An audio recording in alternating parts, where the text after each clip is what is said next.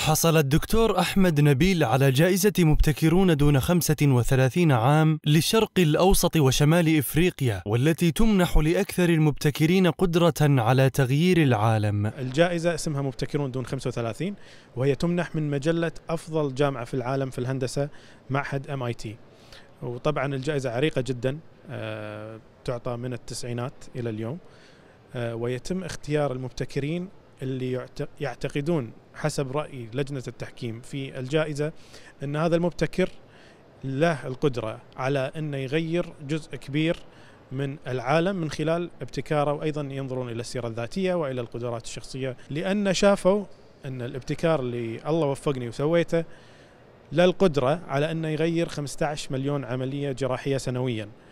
آه، أملنا وطموحنا أن نضع قواعد جديدة للجراحة جراحة المناظير بحيث يصبح هذا الابتكار الجهاز اللي ينظف عدسة المنظار بشكل تلقائي يصبح ستاندرد في العالم كله.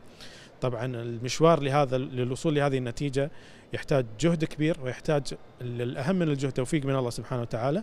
في عمليات المناظير نستخدم كاميرا عشان نشوف التجويف البطن. الكاميرا هذه تتوسخ بشكل متكرر. الطريقة الوحيدة لتنظيفها منذ قرن أول ما اخترعوا المنظار إن توقف العملية تسحب المنظار وتنظفه بشكل يدوي. طبعا المناظير انتشرت في التسعينات والثمانينات. ابتكرت طريقة بتوفيق من الله سبحانه وتعالى. كفر غلاف يركب على يتم تركيبه على المنظار ينظف العدسة بشكل تلقائي خلال 0.4 ثانية. التنظيف اليدوي قد يستغرق لغاية دقيقتين بالمرة الواحدة. الاحتفالية كانت آه، بالتعاون بين آه، مجلة جامعة MIT ومؤسسة دبي للمستقبل. الانضمام إلى قائمة الأسماء هي في موقع للجائزة. يضم كل أسماء الفائزين السابقين منهم فائزين بجائزة نوبل منهم مؤسسي موقع جوجل مؤسسي موقع تويتر وشركة تسلا للسيارات. اسمي بتوفيق من الله سبحانه وتعالى راح يكون في نفس الموقع الرسمي ضمن هذه الأسماء.